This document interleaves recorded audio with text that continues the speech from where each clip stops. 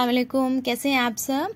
आज मैं बनाने वाली हूँ हैदराबाद का मशहूर कुल्हारा राइस, या खट्टा चावल भी आप उसे कह सकते हैं। और उसके साथ मैं दो दो चीज़ें बनाने वाली हूँ, एक आलू बैगन की सब्ज़ी और दूसरी खड़े मसाले का भुना हुआ कीमा। ये कीमा और आलू की सब्ज़ी के साथ ही ये राइस बहुत अच्छा लगता है, बहुत मज़ा आता है ये खाने में। आप लोग इसे ज़रूर से ट्राई करिएगा। तो पहले हम बनाएँगे कुल्हारा राइस और कैसे बनाना है मैं बताती हूँ। मैंने ये दस से बारह करी लीव्स लिए थे, एक चम्मच मैंने लिया था राई दाना और एक चम्मच लिया था मेथी दाना और छः से सात सूखी मिर्च। तो और एक कप तेल डाल के मैंने गरम कर लिया था, उसमें मैंने सारे मसाले डाल दिए हैं और ये अच्छी तरह से क्रैकल जब होने लग जाएँगे ना, इसमें से खुशबू उड़ने लगेगी। उसके बाद हमें इसमें ऐड करना है चना दाल। ये चना दाल मैंने दो कप लिए थे और इसे भिगा के मैंने रख लिया था। मैंने इसे एक घंटे के लिए भिगा के रखा था। ये थोड़ा सॉफ्ट हो गई है, क्योंकि इसे भिगाना बहुत ज़रूरी है, ये दाल बहुत कड़क होती है। तो उसके बाद इसमें हमें ऐड कर देना है ये दाल भी और इसे थोड़ा भूनना है। इसे हमें थोड़ा अच्छी तरह से चला लेना है, भून लेना है। जब तक इसमें से थोड़ी स्मेल ना उड़ने लगे और अच्छी सी खुशबू आने लगी इसमें करी पत्ती की और मिर्ची की।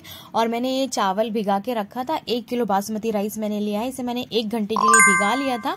और भिगा के रखने के बाद इसे हमें नमक डालकर सादा चावल जैसे हम स्टीम राइस बनाते हैं ना, वैसे हमें इस तरीके से स्टीम राइस बना के रख लेना है।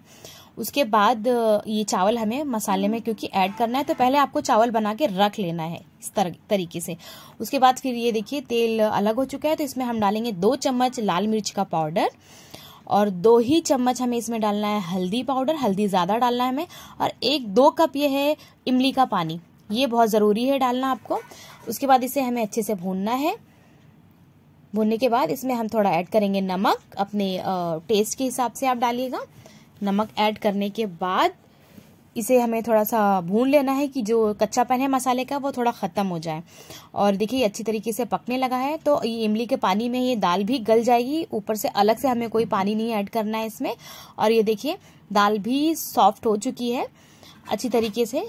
तो इसमें अभी हमें पानी नहीं डालना है, जो हमने चावल पकाया था, वो चावल हमें इसमें ऐड कर लेना है। और चावल ऐड करने के बाद बहुत ही आराम से आपको ये जो दाल और मसाले हैं, चावल में मिक्स कर लेना है। देखिए, इस तरीके से आपको मिक्स करना है। धीरे धीरे आपको करना है, ताकि चावल टूटने ना पाए। और ये बिल्कुल अच्छी तरीके से मिक्स हो चुका है, और ये पुलिहारा हमारा जो है, वो रेडी हो चुका है। ये देखिए, कितना अच्छा और बहुत ही टेस्टी बनता है। तो अब हम बनाएँगे इसके साथ खाने के लिए भुना हुआ कीमा, जो खड़े मसाले में हम बनाने वाले हैं। तो पैन में मैंने ऑयल ले लिया था। इसमें मैंने तीन प्याज कट करके रखा है और इस प्याज को मैंने तेल में डाल दिया है। और ये प्याज को हम ना ब्राउन करेंगे। जब तक ये ब्राउन नहीं हो जाएगी, हल्की ब्राउन करना है, हमें ज़्यादा नहीं करना। और फिर मैंने कुछ खड़े गर्म मसाले लिए थे। लौंग, इलायची तेज पत्ते हरी मिर्च, लकड़ी, बड़ी इलायची और सूखी मिर्च। तो ये भी हमें इसमें ऐड कर देना है। उसके बाद इन सारी चीज़ों को हमें ना ब्राउन कर लेना है। फिर जब प्याज हमारी हल्की से सॉफ्ट हो गई तो उसमें मैंने ऐड कर लिया, ये आधा किलो मैंने कीमा लिया था। और कीमे में फैट बिल्कुल भी नहीं है और इसमें हम अब ऐड कर देंगे नमक। अपने टेस्ट के हिसाब से आप ऐड करिएगा और इसे अच्छी तरीके से भूनना है, क्योंकि इसमें से ना बहुत सारा पानी रिलीज़ होने वाला है। तो जो पानी है ना, उसे हमें ड्राई कर लेना है। जब तक पानी को हम सुखा नहीं लेंगे ना, ड्राई नहीं कर लेंगे, इसमें हम आगे और चीज़ें ऐड नहीं करेंगे, क्योंकि ये बहुत सारा पानी निकलेगा। और फिर मैंने आलू बैगन की सब्ज़ी में बघार लगाई, मैंने एक कढ़ाई में तेल लिया था, उसमें मेथी दाना मैंने डाला एक चम्मच। और फिर ये डाला है डालना है मुझे प्याज, सूखी मिर्ची और हरी मिर्च। तो इन सारी चीज़ों को भी हमें डाल देना है। और ये आलू बैगन की सब्ज़ी जो मैं बनाने वाली हूँ ना, ये उसका तड़का है। और इसमें अब इसके बाद हम ऐड कर देंगे सूखी लाल मिर्ची। पहले मेथी दाना डाला था, उसके बाद सूखी लाल मिर्ची। और फिर हरी मिर्च और फिर उसके बाद हम इसमें डालेंगे प्याज। जब थोड़ा सा ये क्रैकल होने लगेंगे ना, इसमें से खुशबू उड़ने लगे, उसके बाद फिर हम इसमें डालेंगे प्याज। और फिर प्याज को थोड़ा ब्राउन करेंगे हम, इसका कलर चेंज हो जाए, गोल्डन ब्राउन जब इसका कलर हो जाएगा, उसके बाद इसमें हमें डालना है हमारी जो आलू बैगन हमने कट करके रखे थे वो इसके बाद इसमें हमें डालना है।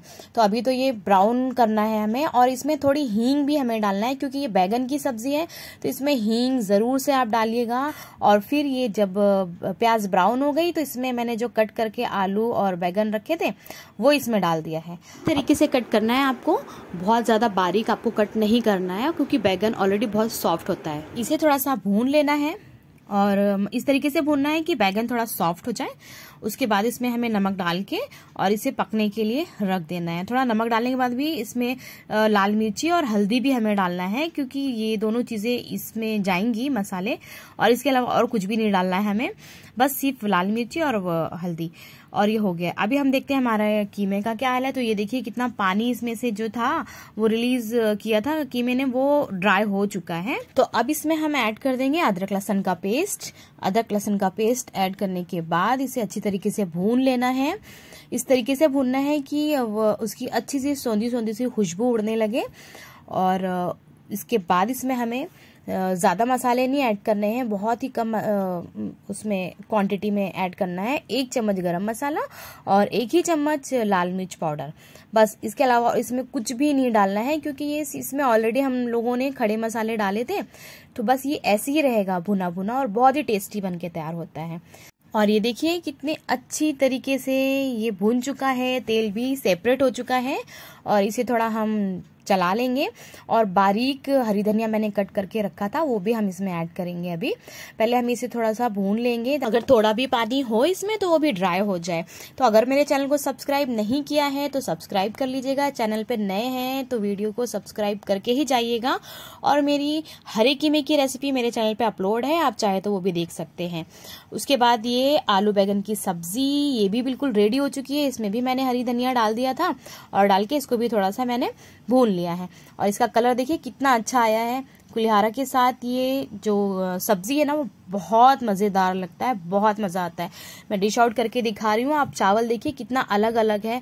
इतना टेस्टी होता है ना इसका और ये सब्ज़ी। इसके साथ बनाइए और आप खाइए, आपको बहुत मज़ा आएगा। और इसके साथ आलू बैगन की सब्ज़ी और ये खड़े मसाले के कीमे वाह मज़ा आता है। आप लोग ज़रूर से बना के खाइए और ट्राई करिए और मेरे फेसबुक पेज को और इंस्टा को भी फॉलो करिए। फिर मिलेंगे हम नेक्स्ट रेसिपी में। जब तक अपना बहुत सारा ख्याल रखिए, मेरे लिए दुआ करिए और ऐसी बहुत सारी रेसिपीज़ मैं जल्दी लेकर आऊँगी आप लोगों के लिए। And thanks for watching